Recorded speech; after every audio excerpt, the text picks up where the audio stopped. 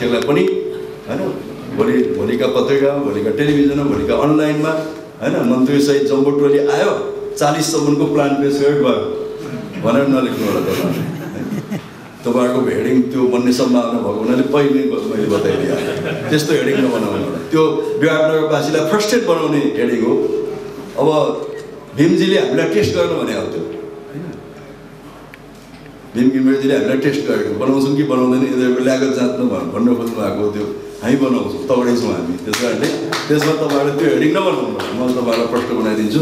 तर के पनि हुन्छ भने प्रोफेसनल एउटा चाहिँ प्लानिङमा प्रोफेसनल प्लानिङ हो प्रोफेसनल प्लानिङमा त्यसको चाहिँ निश्चित प्रोजेक्सनहरू हुन्छ।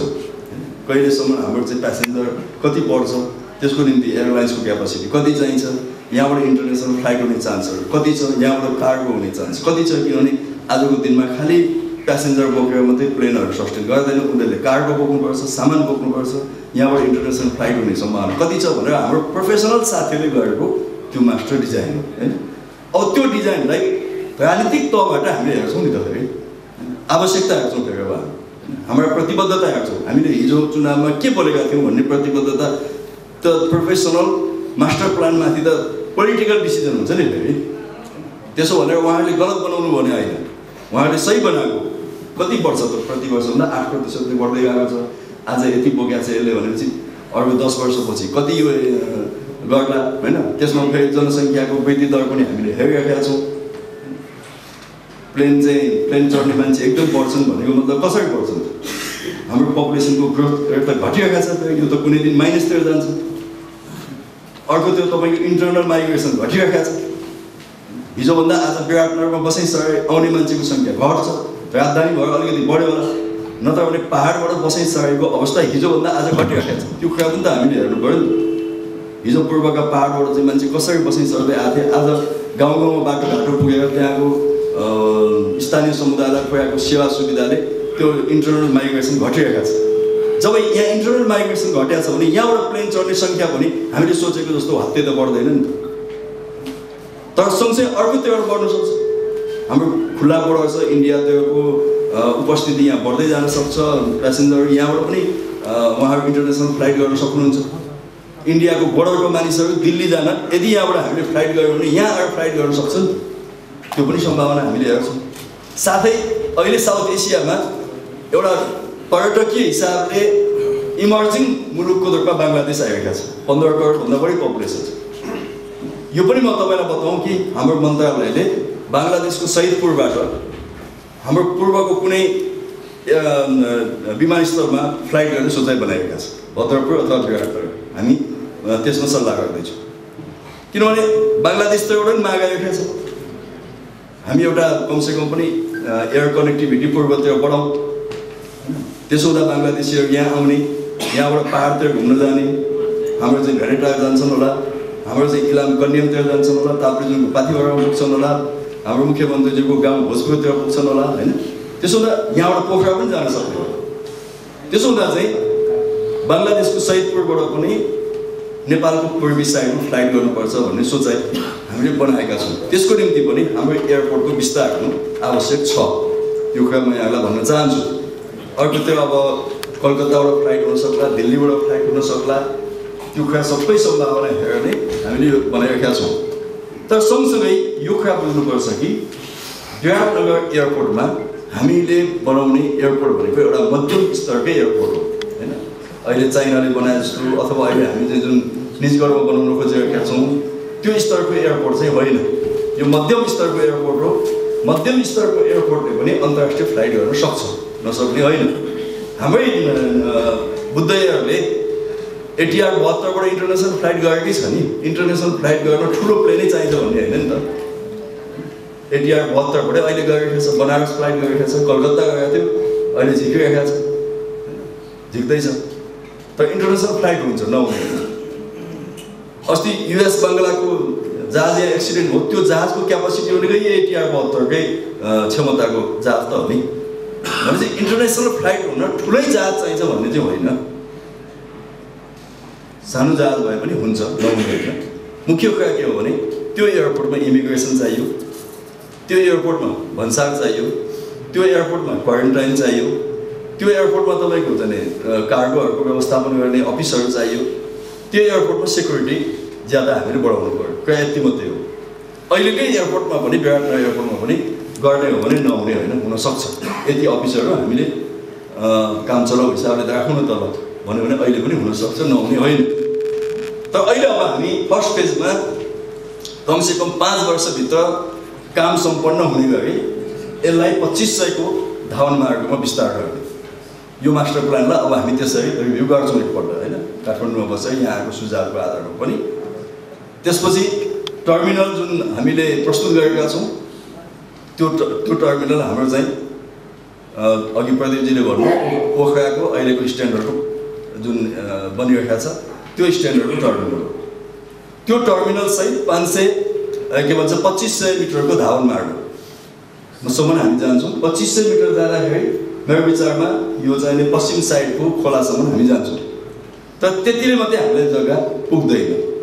किनभने अरू हाम्रा इक्विपमेन्टहरू जो अ, अघिल्लो हिसाबले त्यसमा निवेदन गर्नु ती इक्विपमेन्टहरूलाई इन्स्टल गर्ने जग्गाहरू चाहिन्छ। त्यसको त्यसो हुँदा खोला पारि पनि हामी जग्गा त लिनै पर्छ। त्यस कारणले अघि हाम्रो चाहिँ हिक्मत मन्त्रीज्यूले हाम्रो चाहिँ लालबाबु मान्यज्यूले मन्त्रीज्यूले सबैले भन्नु मेयर साहबले अहिले हामी भोलि यो तिन हजार मिटरमा पनि जान सक्छ है भन्ने सोच बनाएर जग्गाको चाहिँ नि अधिकरणको एउटा प्लान बनाउँछौँ। त्यो प्लान हामी अगाडि बढाउँछौँ। त्यसलाई चाहिँ नि क्याबिनेटले स्वीकृत गर्नुपर्छ जग्गाको अधिकरणको त्यसमा स्थानीय तहको सहयोग चाहिन्छ प्रशासनको सहयोग चाहिन्छ।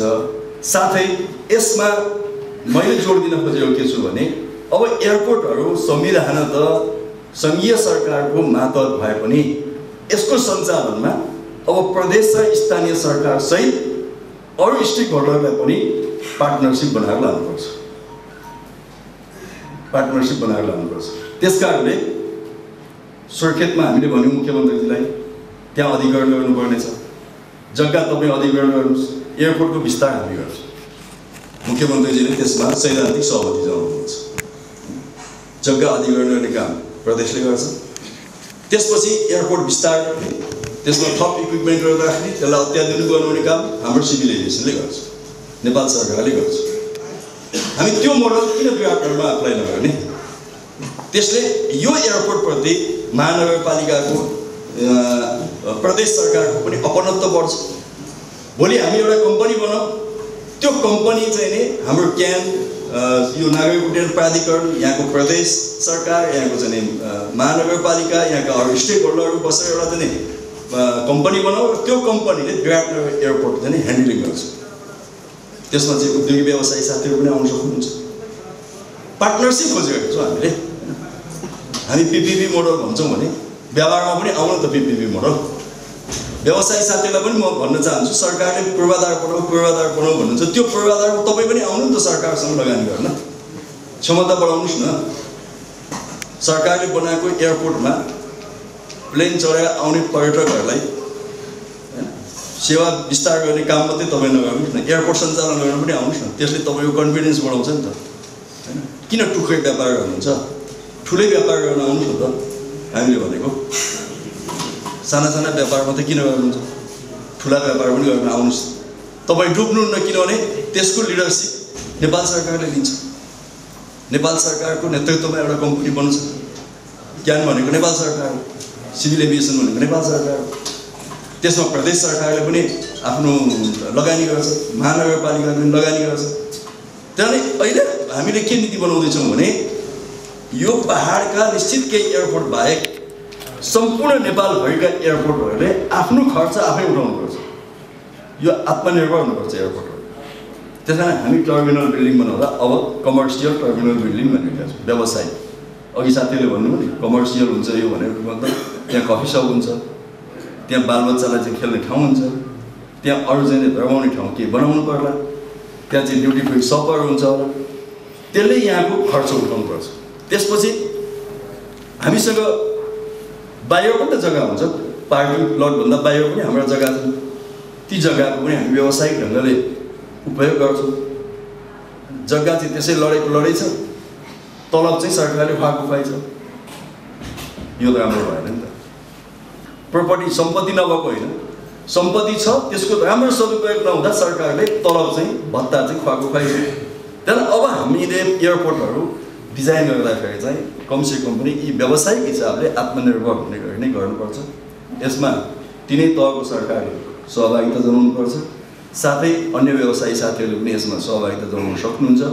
यो दृष्टिकोणका साथ हामी जान्छौँ र म जाँदा जाँदै मान्य मुख्यमन्त्रीज्यूलाई अनुरोध गर्न चाहन्छु यो तिन हजार भोलि हामी तिन हजारको कन्सेप्टमा गएर अहिले पच्चिस सयको प्लानिङ गर्दा पनि भोलि हामी तिन हजार मिटर पनि जान सक्छौँ भन्ने कन्सेप्टको आधारमा कति जमिन हामीले लिनुपर्ने रहेछ त्यसको एउटा खाका हामी निकाल्छौँ। हाम्रो इन्जिनियर साथीहरूले निकाल्नुहुन्छ प्राविधिक साथीहरूले। अहिले नै महानगरपालिकाले त्यहाँ चाहिँ ठुला संरचना बनाउन रोक लगाइसकेको छ। त्यो राम्रो निर्णय उहाँले गर्नुभएको छ। यसले हामीलाई सपोर्ट गर्छ। र अब त्यो सबै जमिनको टोटल कति निस्किने रहेछ र त्यसपछि हामी त्यसको एउटा चलन चल्तीको मुआवजा होइन? अघि एकजना बहिनीले दिदीले भन्नुभयो होइन? अ, मुआवजा कसरी दिइन्छ? मुआवजा भनेको तपाईँको चाहिँ नि घाँस काटेर आधा पेट बन्ने गरेको मुआवजा भने होइन? तर मुआवजा भनेको एकैचोटि सुनको घर बनाउनु पाइन्छ भन्ने पनि नठान्नु होला। त्यो पनि हुँदैन? चलन चल्तीको हुन्छ। चलन चलन चल्तीको हुन्छ। आज तपाईँको ज जमिनले तपाईँलाई कति भ्यालुएसन दिएको छ? तपाईँको त्यसमा कति व्यावसायिक आम्दानी भइरहेको छ? त्यो हामी हेर्छौँ। साथै नागरिक भनेको प्रति जहिले पनि राज्यको दायित्व हुन्छ। त्यसो हुँदा जमिन हुने मात्रै होइन जमिन नहुनेलाई पनि त्यहाँबाट अन्यत्र राख्नु पऱ्यो भने त राज्यले त व्यवस्था गर्छ नि। होइन नाङ्गे झार बनाएर चाहिँ खाली खाली खुट्टाएर चाहिँ नाङ्गो आङ लिएर चाहिँ ल जानुहोस् अब यहाँ हामी एयरपोर्ट बनाउने भयौँ ठुल्ठुला जहाज आउँछन् यही हेरेर खुसी हुनुहोस् भनेर पठाउँदैनौँ तपाईँलाई। होइन तपाईँलाई चाहिँ हामी उचित ढङ्गले व्यवस्थापन गरेर त्यो कुरा चाहिँ पठाउँछौँ। राज्यको त्यो नीति हुन्छ। र यसमा यो विराटनगरको एयरपोर्ट विस्तारको बृहत्तर योजनामा आर्थिक हिसाबले अन्य नेतृत्वको हिसाबले अनुगमन गर्ने हिसाबले र मूलत यसको लगानीको पक्षको हिसाबले सक्रियताका साथ सहभागी हुन यसमा यो प्रोजेक्टमा मान्य मुख्यमन्त्री मार्फत प्रदेश सरकारको